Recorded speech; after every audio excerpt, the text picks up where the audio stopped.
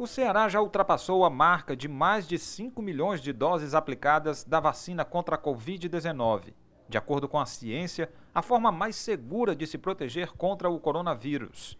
Mesmo assim, algumas pessoas têm se negado a tomar a vacina e isso tem provocado problemas na justiça trabalhista. O caso hoje, o precedente é mais visível hoje, foi no caso de São Paulo, já subiu, né, já está no, no Tribunal Regional do Trabalho Paulista.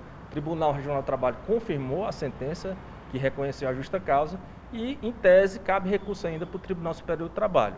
É, então, o, o, que se vê hoje, até por conta da decisão que já existe, é, dada pelo STF, de que a vacinação ela é obrigatória, é que seja mantida essa condenação, sim. O caso na Justiça do Trabalho em São Paulo serve como exemplo para outras cidades do país e também abre precedente para a negativa de contratação de pessoas que se recusem a tomar a vacina.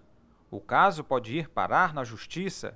Eu posso dizer hoje que qualquer funcionário que se recusar a vacinar vai ser demitido por justa causa? Não, não posso dizer isso. Eu tenho que entender a justificativa desse funcionário. Em fevereiro desse ano, o Ministério Público do Trabalho também se manifestou pela possibilidade de demissão por justa causa de trabalhadores que se recusarem a tomar a vacina sem apresentar uma razão médica. Desde então, a medida também passou a estar em vigor em outra instância da Justiça. O momento hoje é pensar menos é, em você como pessoa, nesse ponto de vacinação, e pensar mais nas consequências que isso vai trazer para a coletividade.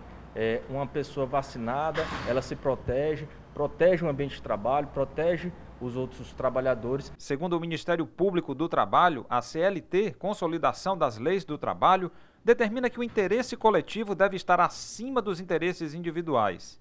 Assim, é competência do empregador adotar a vacinação como medida coletiva de proteção, que deve estar prevista em programa de controle médico de saúde ocupacional com ampla divulgação entre os empregados. A pandemia ainda não acabou. A necessidade de se proteger continua. Eu acho uma ignorância as pessoas que não querem tomar a vacina, né? porque é para o nosso bem-estar, é para a nossa saúde, para o nosso benefício. Tomar a vacina. Por quê? Para pensar na coletividade, né? para todo mundo ficar imune.